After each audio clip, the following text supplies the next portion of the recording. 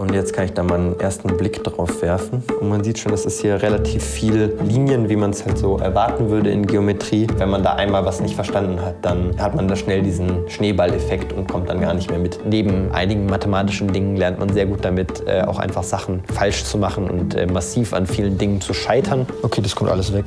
Du hast, du hast wirklich recht. Ach, scheiße. Ich habe ein bisschen Angst, was jetzt noch kommt die eine anschaust, dann haben wir ein Harmonic Set.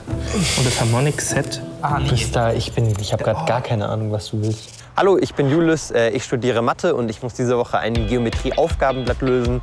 Und die Herausforderung daran ist, äh, dass diese Aufgabenblätter immer sehr aufwendig und äh, auch ziemlich schwierig sind. Man muss die aber jede Woche ordentlich bearbeiten, sonst ist man mit dem Stoff hinten dran. Das Schwierige am Lösen von diesen Aufgabenblättern ist, dass es einfach immer relativ viel ist. Also man muss den neuen Stoff verstehen und dann auf den Aufgabenblättern anwenden.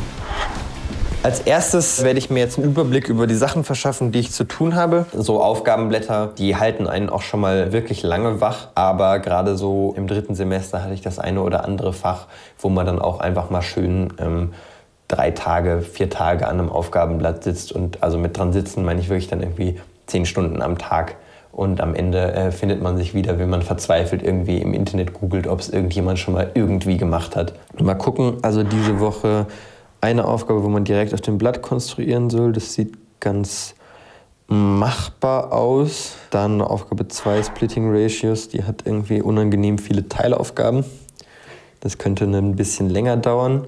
Dann haben wir hier so eine Aufgabe, nee, eine Generalization. Das klingt immer schon mal ganz schlimm, weil das heißt, dass man irgendwas, was man in der Vorlesung hat, jetzt dann nochmal in größer macht. Das ist meistens ziemlich aufwendig. Also meine Einschätzung ist, dass die, dass die ersten zwei Aufgaben ganz akzeptabel sein werden und dann die dritte und die vierte werden wahrscheinlich ähm, eher anstrengend. Aber mal gucken. So, welcome back to our video lectures on projective geometry. This time we start a new chapter. We will talk about conics. Conics heißen Kegel.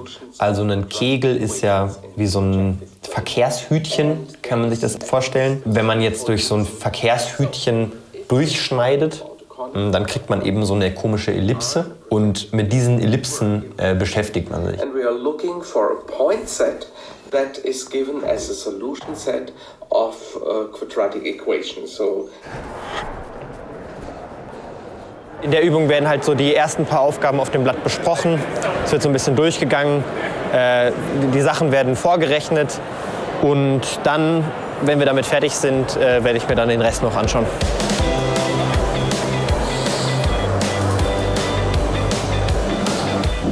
Hallo. Das mich jetzt. Das sind jetzt hohe Erwartungen. Ja, schon. Aber immerhin sind es diese Woche nur vier Aufgaben. Ja. Und die erste ist, glaube ich, recht einfach. Ja. Was ich meine. Also bei der A weiß ich auf jeden Fall, glaube ich, schon, was man ja. machen muss. Ich glaube auch die erste ist okay. Ich habe eine Ahnung von der A. Also das sieht schon mal nicht so ganz freundlich aus hier. Viel Text ist nicht gut. Die meisten Studis, die anfangen Mathe zu studieren, die waren in der Schule richtig, richtig gut in Mathe. Also nicht nur so ein bisschen gut, sondern wirklich richtig gut. Und dann macht man eben die recht schmerzhafte Erfahrung, dass es teilweise auch einfach egal, wie viel man sich anstrengt, ob man da jetzt jede Woche seine 40, 50, 60 Stunden abreißt, dass es manchmal auch einfach Fächer gibt, in denen man niemals äh, irgendwie richtig gut sein kann und, oder der Beste sein kann. Multiplikation, ja. ja, eine unendliche Linie, die wir das machen. Also entweder müssen wir dann... Das hier. Ich weiß nicht. Warte, warte, warte die auch da durchgeht. Und also du musst durch die Null gehen und ja, da nicht, dass es unendlich auf der anderen Seite ist. Ja. Das ist nicht schön. Es gibt ja immer dieses Klischee, dass Mathematikerinnen vielleicht so ein bisschen merkwürdige Eigenbrötlerinnen sind, die äh, nur alleine in ihren Zimmern sitzen und irgendwie über Aufgaben brüten. Das stimmt zu einem gewissen Extent auf jeden Fall. Also ganz ohne sich alleine hinzusetzen und über Sachen nachzudenken, wird es nicht gehen im Studium. Was, glaube ich, viele unterschätzen, ist, wie viel Teamwork man dann auch doch benötigt, um, um durchs Studium zu kommen. Also gerade in den ersten Semestern ist es halt eine der hilfreichsten Lernerfahrungen, mit anderen Leuten drüber zu reden, wie die an Aufgaben rangegangen sind, was die für Lesungswege haben, eben über verschiedene Varianten zu diskutieren und eben auch selber zu erkennen, wenn man falsch liegt. Also Teamwork im Mathestudium tatsächlich äh, sehr, sehr wichtig.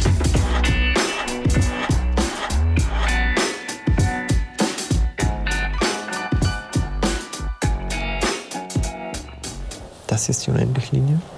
Ich verstehe, was du meinst. Ja. Ich sehe die Punkte zumindest nicht. Wir bräuchten hier halt noch diesen zweiten, oder? Ich bin ehrlich gesagt auch massiv confused jetzt gerade. Ja, es sind halt übelst viele Linien.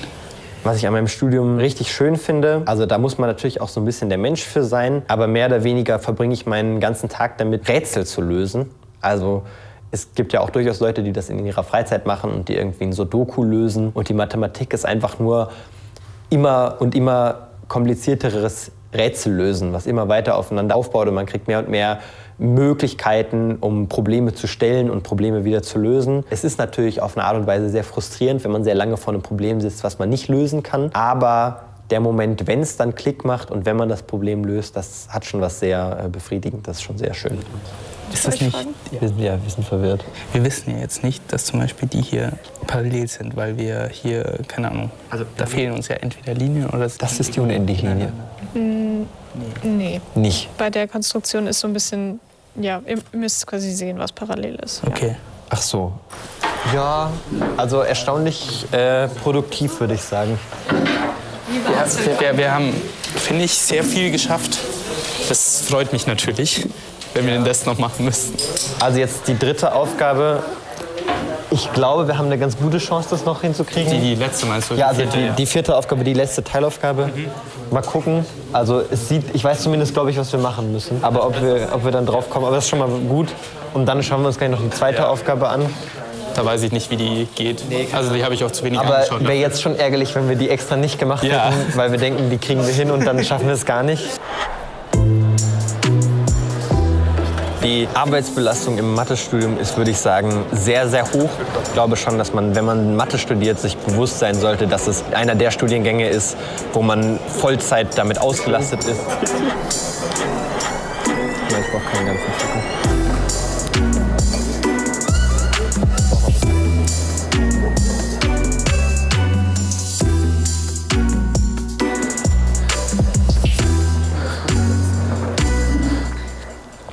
Ja, ich habe, glaube ich, soweit auch alles verstanden. Bei der dritten Aufgabe müssen wir noch mal, da ist dieser eine Schritt ist so ein bisschen weird, aber ich glaube, das kriegt man noch irgendwie hin, wenn man sich das noch mal anschaut. Und jetzt haben wir halt die vierte Aufgabe auch angefangen. Und da würden wir uns jetzt als erstes dran setzen und halt schauen, ob wir die fertig machen können. Aber könnt ihr mir auch vorstellen, dass die noch mal so ein bisschen weird wird wie die dritte. Also, Ja. also wenn wir jetzt an einen Punkt kommen, wo wir beide einfach nicht weiter wissen, dann können wir nicht äh, uns melden und die Tutorin fragen, sondern da müssen wir halt ähm, also im Grunde davor sitzen, bis einer von uns einen Einfall hat. passiert schon öfters Das in ist den eigentlich, eigentlich regelmäßig. Also das ist ganz normal.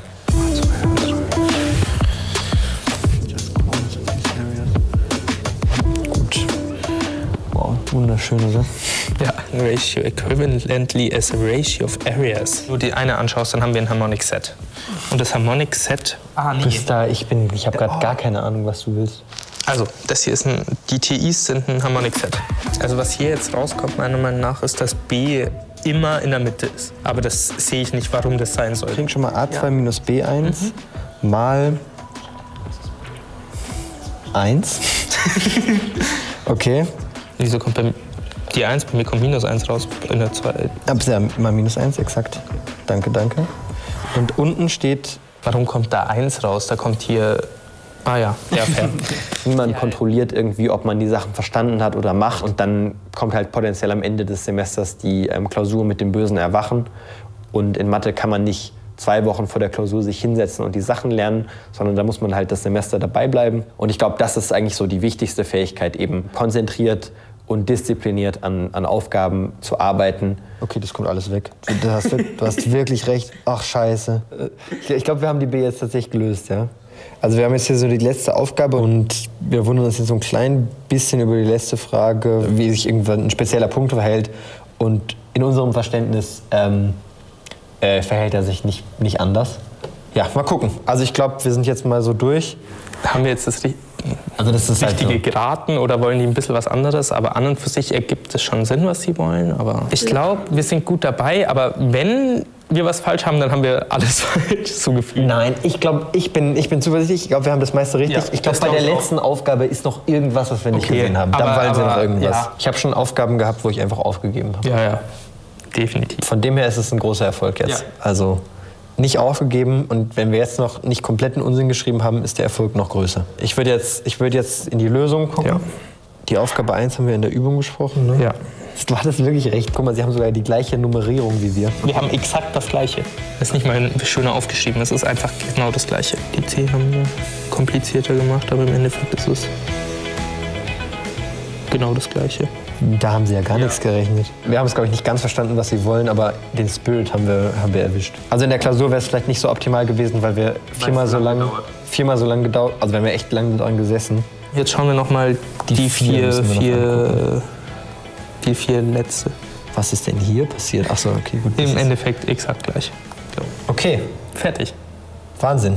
Also erstaunlich alles gut. richtig. So, Ja. jetzt können wir alles und jetzt gehen wir nie wieder in die Übung.